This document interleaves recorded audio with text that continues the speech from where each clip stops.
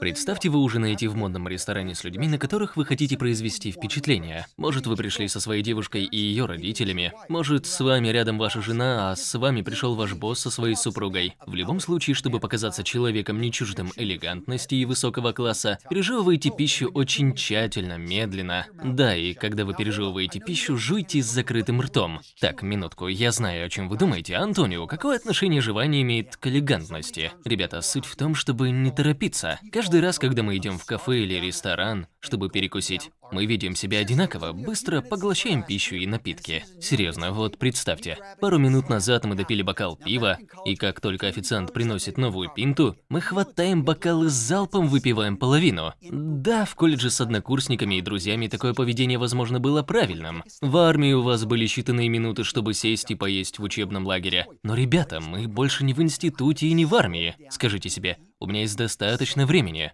Я собираюсь насладиться едой. И сегодня мы поговорим о том, как привить себе элегантные манеры.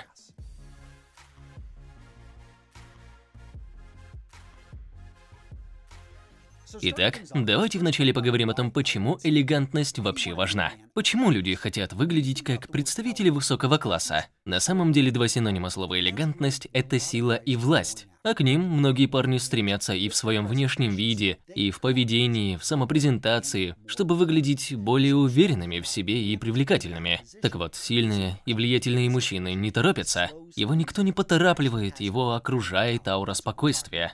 Вас должна окружать аура, вызывающая у других уважение. Следующий совет о том, как выглядеть как человек высокого класса звучит так. Обращайте внимание на то, что происходит вокруг вас. Потому что если вы поняли, что вон той женщине нужна помощь, чтобы войти, это не про то, чтобы открывать двери перед женщинами. Это про то, что так, вот этому человеку, мужчине или женщине нужна помощь. А вы – мужчина, который при виде этого встает и предлагает свое место тому, кто в этом нуждается. И в этом принципе ключ к хорошим манерам и галантному поведению. Мы обращаем внимание на поведение людей, когда они проявляют себя по отношению к другим. В разных странах, в разных сообществах я наблюдал, как люди проявляли заботу о пожилых, инвалидах, и это всегда является признаком высокого класса в любом обществе. Далее, следующий мой совет относительно элегантности представлен математическим уравнением. Вот оно. Кто-нибудь его вообще понимает? Позвольте я объясню все простыми словами. Оно известно как эффект Линди. Это такой теоретический феномен, в котором будущая ожидаемая продолжительность жизни предмета связана с тем, как долго он фактически существует. В качестве примера давайте возьмем предмет одежды, а именно современный костюм. Да, произошли изменения в ширине лацканов, в цвете, ткани, материалах, но в целом сам силуэт, стиль костюма не слишком сильно изменились за последние сто лет. Учитывая этот факт, мы можем предположить, что в ближайшие сто лет он тоже особо не изменится. Почему это важно? Потому что если мы говорим об элегантности, важны и ваш гардероб, и то, как вы себя преподносите, и все те вещи, которые вы берете с собой в поездках.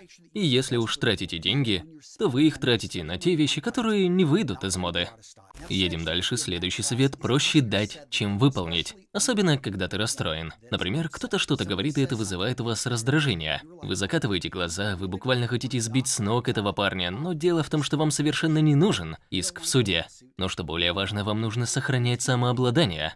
Вы хотите показать хладнокровие. Станьте тем парнем, который может сделать шаг назад и просто спокойно дышать, понимая, что этот человек просто хочет вывести вас из равновесия. Может, он просто некомпетентен, но не понимает, что говорит. Вместо того, чтобы разводить кипиш, вы должны просто... Если вы смотрели фильм «Мстители», «Война бесконечности», а я большой поклонник Марвел, всякий раз, когда у Древней и Халка возникали разногласия, Древняя выталкивала Халка из тела и замедляла их беседу, потому что Халк применил бы мускулы, чтобы все сделать сделать по-своему. Не стоит раздражаться и пытаться решить дело силой. Сделайте шаг назад. Может быть, человек сам не понимает, что делает. Задайте уточняющие вопросы. Пусть дураки сами себя выставляют дураками, говоря о том, в чем ничего не смыслят. Вы поймете, что имеете дело не с равным, что все это не стоит вашего времени и усилий.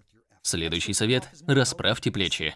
И неважно, сидите вы, стоите или прохаживаетесь по комнате, вы должны ощущать уверенность в себе – а для мужчин один из самых простых способов это сделать – выпятить грудь. Вы можете это сделать, просто расправив плечи.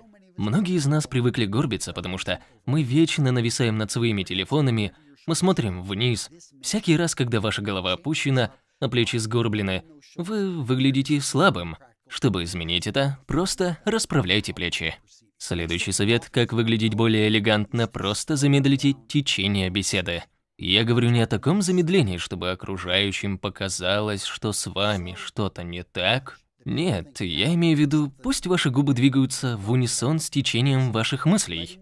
Много раз мы впадаем в ступор и начинаем подбирать слова, мыча э, э, Вы понимаете, о чем я говорю. Если вы считаете, что у вас есть эта проблема, запишите свою речь и послушайте, сколько раз вы так подбираете слова. Скорее всего, вы делаете паузу в 2-3 раза больше, чем вы думаете. Когда вы говорите слишком быстро, вы используете слишком много слов-паразитов и выглядите так, как человек, который не может сформулировать свою мысль, потому что он неспокоен, он не собран. А все эти характеристики описывают человека высокого класса, человека элегантного, у которого есть власть. Это вы должны задавать темп беседы, вы должны говорить, а другие – слушать. Ранее в этом видео я говорил о стиле костюма, о том, что он является классикой. Он существует уже сотню лет и будет существовать еще сотню. И еще мне очень нравится, что костюм в сущности очень прост. Он выполнен в одном цвете. Носите его с белой рубашкой. Том Форд сделал его своей униформой. Он носит его почти всегда. И получается просто классическая элегантность. Вы тоже должны найти свою униформу, найти то, что будет идеально на вас смотреться. Может, это черная футболка с темными джинсами и с черными ботинками. Да, такой полностью черный однотонный вид. Но только если вы все продумали, если вы понимаете, кем вы являетесь, это ключ к вашей униформе. Подумайте, а кто я такой? Какое послание я хочу отправить миру? Что хочу показать своим образом, своей одеждой? Помните Карла Лагерфельда, покойного великого дизайнера? Его образ ни с каким другим спутать было нельзя. Не для всех из вас, конечно, но может быть ваш образ это спортивный пиджак с джинсами или что-то более сдержанное. Может быть, повседневная рубашка на пуговицах, возможно, со спортивными брюками. Найдите образ, скомбинируйте то, что будет для вас выигрышным сочетанием. Лично я нашел для себя вот что. Темно-синюю рубашку пола с короткими рукавами, которую я ношу летом со спортивными брюками и красивыми мокасинами. Найдите тот образ, который будет выигрышно подавать вас. Нет ничего плохого в том, чтобы иметь несколько одинаковых предметов и носить их снова и снова. Только не забывайте их стирать. Следующий признак человека высокого класса – это то, что он не высказывается плохо о других людях. Другие люди могут распускать сплетни, но он не поддерживает такое поведение. Возможно, он решает сменить тему, чтобы обсудить что-то другое. Иногда кто-то может высказать что-то оскорбительное, кто-то может попытаться его принизить, но его это не трогает. Он понимает, что эти люди не могут причинить ему боль. Он думает, то, что говорят люди, которых я не уважаю, не может причинить мне вреда. Мы снова возвращаемся к теме хладнокровия. Есть разные способы, и есть один прием. Можно использовать свое чувство юмора и просто повеселиться, парируя неприятные слова. Одно из моих любимых оскорблений высказал Уинстон Черчилль. Одна женщина сказала ему, «Если бы я была вашей женой, я бы отравила вас». Он ответил, «Если бы вы были моей женой, то я бы выпил этот яд». Знаете, я думаю, эти персонажи переговаривались в письмах, не обязательно они высказывали это вслух. Но если у вас острый ум, пользуйтесь шансом, чтобы показать, что вы человек высокого класса. Повеселитесь немного, оставьте вопрос открытым для интерпретации другим людям. Те же, кто вас понял и в курсе шутки, будут улыбаться. Далее, человек высокого класса является прекрасным коммуникатором. Если вы опаздываете, отправьте сообщение «Я опаздываю на 15 минут. Прошу прощения». Если вы хорошо провели время в чьем-то доме, пошлите хозяевам записку, напишите ее от руки. Такое сейчас встречается редко. Отправьте людям хорошо продуманное письмо с благодарностями, ведь вы прекрасно провели время в их доме. Если вы собираетесь делать людям комплименты, говорите людям об их достоинствах. Женщинам все время говорят, какие они красивые. Но если вы знаете, что какая-то женщина произвела на всех впечатление тем, как она себя вела, как держалась, это прекрасный комплимент, которого удостаиваются немногие женщины и немногие мужчины. А мужчина высокого класса щедр на комплименты, как джентльмен. Он сам не очень часто их получает, но щедро раздает, особенно когда они заслужены. Так, какое же видео мне посоветовать вам посмотреть дальше, как насчет того, как практично упаковать чемодан?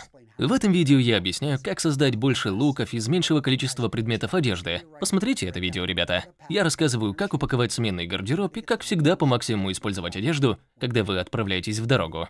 Отличное видео, ребята.